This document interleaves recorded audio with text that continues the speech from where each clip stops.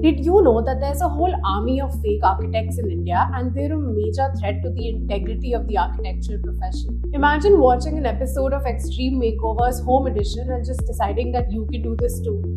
That's exactly what it's like. What's happening is basically an illegal encroachment of unqualified quacks or individuals without a license into the profession. The funny thing is that these professionals try to attract customers with punchlines like get a complete plan of your house for a thousand rupees that's like $14 for the design of a house. In a country where most people genuinely believe that paying an architect to design your house is a waste of money, such individuals dilute the profession even further.